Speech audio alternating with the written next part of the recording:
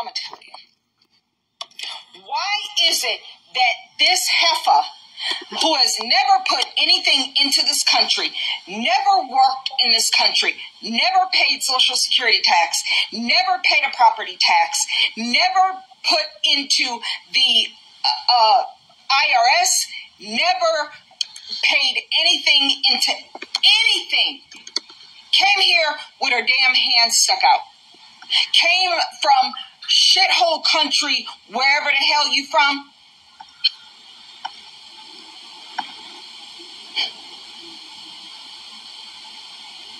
This individual left the receipt where she had just bought some food at the bodega. Okay? Her food stamp balance, let me make sure I'm getting this right.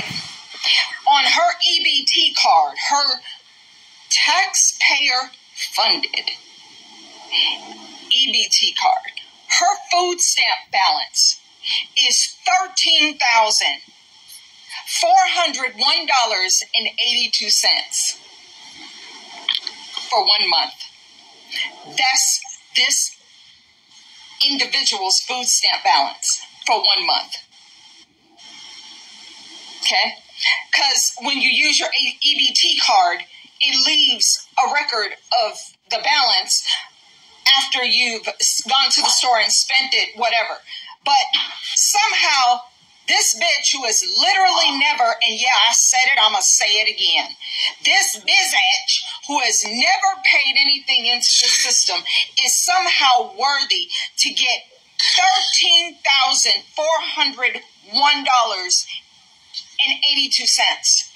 Cash balance is $4,498.85. So I'm going to stop it there and I'm going to actually show the picture. I just found it. Um, so I'm working behind the scenes. You know what I'm saying? This is a, this is an actual photo right here. All right. So as you can see it, all right, the cash balance is thirteen thousand four hundred and one, or the EBT balance, the food balance, thirteen thousand four hundred and one dollar and eighty two cents. Their cash balance that they can take out and do whatever they want to eighty-five cent, and they spent uh, on EBT. I just want to say that, um, though I understand some of the frustration because who needs thirteen thousand dollars a month to eat off of? I mean, I don't even think families of ten and twelve need that much money. Maybe three, four thousand, but thirteen thousand is a lot. And um, my whole thing is there's two things. First of all, we should not hate any anyone. This woman calling the lady all out her name, calling her all types of B words. This B got this. You don't know her from Adam's apple. I understand she's not an American citizen. She probably don't have a birth certificate or ID or anything. So I understand the frustration with that because we have veterans that are homeless. I was just watching a clip the other day. I was homeless. Veterans are struggling. They have to wait a certain amount of time just for um people to give them apartments when they fall on hard times after they've served in the country, after they served um, in these different wars and all that, and they still come here and people treat them like crap. I remember being at the Social Security office years ago and them throwing a veteran out just because he was trying to get help. So I understand the frustration when we have veterans on the street that are homeless that um can't afford to live, that can't even, that don't have housing, don't have money. Then we have senior citizens that only are living off of a thousand dollars a month in a, a, in an economy where rent in California is three, four thousand dollars a month. In Boston is three thousand a month. And uh, New York, three thousand a month. Unless you want to live in a piece of like a, a one inch by one inch, you know what I'm saying? They can't afford to live, but yet you're giving people with no citizenship. It's not, hey, money that they have not worked for and put into social security or put into I forgot what the other one is called when you're older and you get it out oh, I forgot, it's right on the tip of my tongue. But they have not worked to put in to get back, and yet you're giving it to them for free. And um, I remember this gentleman was saying he went to the food stamp office or something to get some food or to the, I don't know if it was a food bank, and they was, he was saying how they was only giving them a little bit, but they was giving people that didn't even have an ID and all that, all this food and all these food stamps. And people say that's not true, but it does seem like under the Biden and Kamala Harris administration, they are doing more for minority immigrants that are coming over here don't have no type of documentation than American citizens that are struggling and that have been struggling. And this has got to change. But at the same time, she should not be disrespecting this woman. She should not be hating this woman. As a Christian, that was wrong. It seemed like she was just so full of hate for this woman. This B got this and this. I'm like, dang, if she had a gun, would she shoot her? Because it sounded like she hate him. I don't hate nobody. But I also don't think she needs 13000 a month to eat off of. And some people might say, oh, it just rolls all over. It probably wasn't that. But just having all that money, 20000 40000 for the, these individuals who have not given anything to American society, who have not worked for Social Security and for the other, uh, for pension and all these things. But yet you're giving them our money that our grandparents, that our parents, and that we have been working and even the, the millennials and, um, just now, hopefully Generation Z, but our parents and they've been working it for years and they can't get nothing. Veterans can't get nothing, but you're giving it to illegals that's a problem.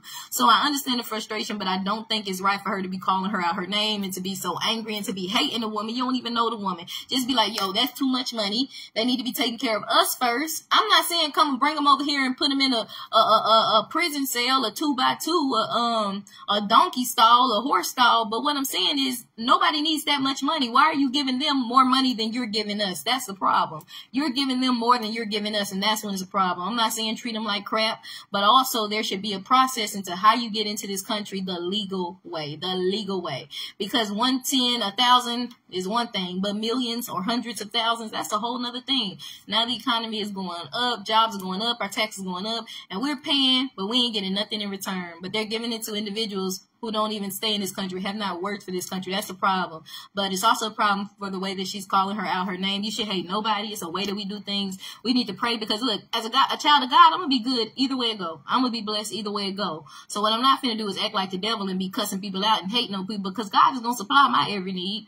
But at the same time, there's a way you go about things, and you need America we need to vote Trump in because he's trying to take care of American citizens first, not millions of individuals that have no documentation. And you got veterans and you got senior citizens going to the food pantries, going to places trying to get housing, trying to get help with rent. And they telling them, no, you already got this. You're going to have to live off of 600, a thousand a month. Who going to live off of that? But then they bring in, um, individuals over here that are illegal and giving them twenty, thirty thousand dollars a month or just on the card and 13,000 in food stamps. Like what? And they just, they just balling in money in something that they have put nothing into and worked nothing for, did nothing for the American economy, but you're just giving our money. Make it make sense. That doesn't make sense, but doesn't mean I'm going to hate them or treat them wrong. No. I'm going to be like, hey, how you doing? I'm gonna show them the love of God, share a Bible verse, and keep it moving. But when it comes to vote, I'm trying to vote for somebody that's trying to help Americans first. I'm not going to treat the other people like S word because I'm a Christian at the end of the day. If they need a sandwich, I'm going to give them a sandwich. If they need $5, you best believe I'm going to give them $5 if I have it. But at the same time, I believe that um, whoever we need to vote in office needs to be working to make sure American citizens are in a good place financially, with stability, with where we're living, with food, with gas, with groceries. And we're not. But instead, they're giving it to people that have not put into our system. That's just the point. But at the same time, it doesn't mean to treat her hateful. The lady calling her out her name and this B and all that, that was very disrespectful and that was hateful and that was demonic. That's not what's up. Um, but it is a point that, like I said, we should be taken care of first. In that way, it's a way we go about all these things, and we don't have to be ugly or hate people either in going about it the right way. So let's remember that.